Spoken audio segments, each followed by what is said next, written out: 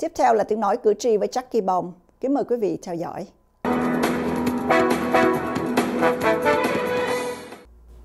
Jackie Bông xin kính chào quý vị. Theo Wikipedia, có lối 205 triệu trường hợp mang thai trên toàn thế giới mỗi năm.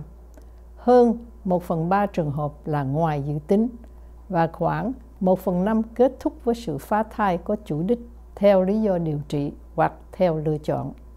Phần đông, phụ nữ từ 15 đến 45 tuổi phá thai trước hết là để cứu mạng sống của người mẹ hay để kết thúc một quái thai hay vì hài nhi có nguy cơ bệnh tật bẩm sinh hay vì đóng con không nuôi nổi hay vì sự loạn luân.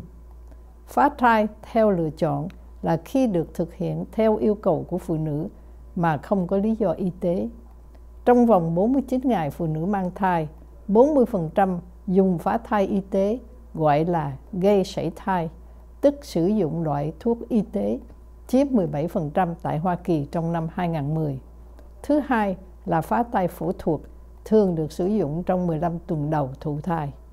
Tại Hoa Kỳ, nguy cơ tử vong bà mẹ do phá thai là 0.5 trên 100.000 ca. Trái lại, theo Tổ chức Y tế Quốc tế, phá thai không an toàn dẫn đến cái chết của 68.000 bà mẹ và hàng triệu người bị thương hàng năm tại các quốc gia đang phát triển như ở bên châu Phi và châu Á. Điều luật phá thai là điểm mấu chốt tranh cãi về ủng hộ hay phản đối phá thai.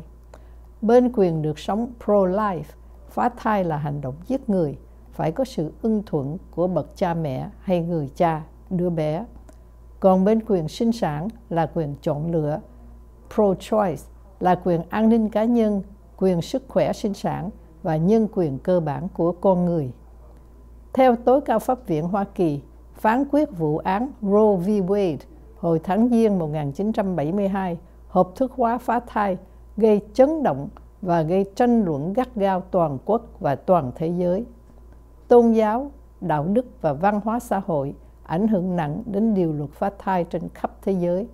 Sau đó, hình thức bạo lực như giết hại, bắt cóc, săn đuổi, tấn công, đốt phá và đánh bom chống các bác sĩ và trung tâm phá thai xảy ra không lường.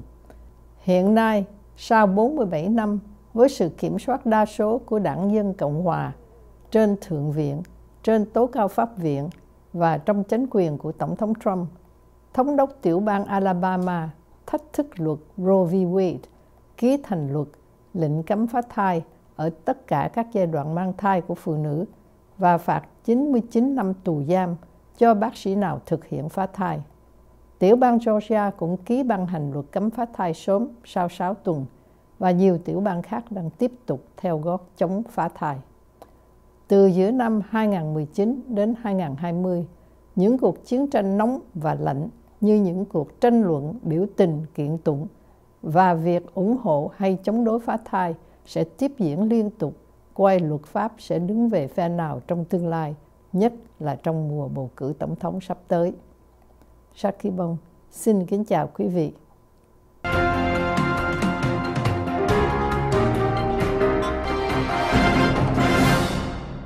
Kính thưa quý vị, bản tin Hoa Trình Đốn đến đây xin tạm ngưng. Chúng tôi sẽ trở lại sau phần thông báo và quảng cáo.